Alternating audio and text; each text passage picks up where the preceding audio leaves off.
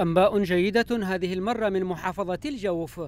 فقد تمكنت قوات الجيش الوطني ومقاتلون قبليون من استعادة سوق اليتمة في مديرية خب والشعف انكسر المد الميليشياوي عند هذه المنطقة الواقعة على الخط الدولي الموصل إلى الحدود مع المملكة والذي يشكل مركزا تجاريا مهما في كبرى مديريات محافظة الجوف.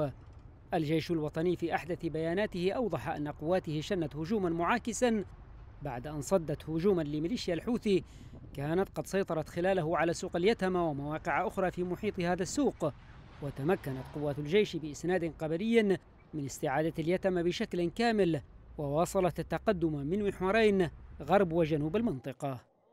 الطيران السعودي نفذ في موازاة المعارك الميدانية عدة غارات استهدف من خلالها مواقع وعربات عسكرية تابعة للميليشيا في مناطق متفرقة من مديرية خاب والشعف. مكن قوات الجيش من مواصلة تقدمها غربا فاستعادت السيطرة على جبال السليلة ووادي المهاشمة بالإضافة إلى مواقع مهمة جنوب اليتمة حصيلة المعركة وفقا للجيش الوطني تمثلت في خسارة فادحة منيت بها الميليشيا على مستوى الأفراد والعتاد العسكري.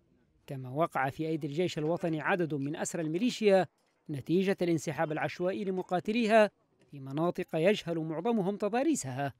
وعلى الفور عمت البهجة منطقة اليتمة واحتفلت قوات الجيش والمقاتلون الذين شاركوا في تحرير السوق التجاري المهم في خب والشعف وأطلقت خلال الاحتفال الأعيرة النارية في الهواء احتفاء بهذا النصر.